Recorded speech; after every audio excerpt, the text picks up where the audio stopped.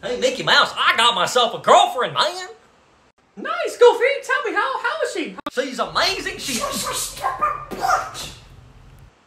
Get over here, you son of a bitch! Don't you talk shit about her?